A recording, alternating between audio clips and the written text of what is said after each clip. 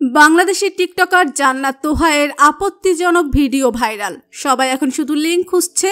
এবার মিডিয়ার সামনে এসে মুখ খুললেন জান্নাত তোহা, জানালেন আসল ঘটনা।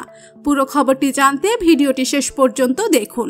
জান্নাত তোহা একজন বাংলাদেশি টিকটকার। মডেল এবং অভিনেত্রী। তিনি দুই হাজার বাইশ সালে টিকটকে তার কর্মজীবন শুরু করেন এবং খুব অল্প সময়ের মধ্যেই তিনি একজন জনপ্রিয় টিকটকার হয়ে ওঠেন। তার ভিডিওগুলিতে তিনি সাধারণত তার দৈনন্দিন জীবন, তার পরিবার এবং বন্ধু বান্ধবের সাথে তার সম্পর্ক এবং তার অভিজ্ঞতাগুলিকে তুলে ধরেন। জান্নাত তোহার জন্ম দুই হাজার তিন সালে ঢাকায়। তিনি একটি সুসম্পন্ন পরিবারে বড় হয়েছেন। তিনি তার শৈশব থেকেই অভিনয় এবং মডেলিংয়ের প্রতি আগ্রহী ছিলেন। তিনি দু হাজার আঠারো সালে একটি মডেলিং এজেন্সিতে যোগ দেন এবং বেশ কয়েকটি বিজ্ঞাপনে কাজ করেন। সম্প্রতি জান্নাত তোহা একটি হয়েছে। এরপর থেকেই তারা এখন সামাজিকভাবে অনেকটাই অপমানের শিকার হচ্ছেন। এদিকে তারা দুজনেই জানান যে তাদের থেকে দুই বছর আগে ফোন চুরি হয়ে যায়। এরপর থেকে তারা কন্টেন্ট নির্মাণ করতে থাকেন। যখন তাদের একটু পপুলারিটি বেড়ে যায়, তখনই তাদের কাছে একজন টাকা দাবি করে আর লিঙ্ক ভাইরাল করে দেওয়ার হুমকি দেয়।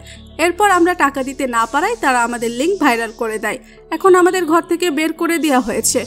আমাদের বাবা মা আমাদেরকে আর ছেলে মেয়ে দাবি করে না, তারা আমাদের মুখ দেখতে চায় না। এখন আমরা কি করব, আপনারাই বলে দিন। সম্মানিত দর্শক, জান্নাত তোহাকে নিয়ে আপনাদের কি মতামত? কমেন্ট করুন। ভিডিওটি আপনি যদি পছন্দ করে থাকেন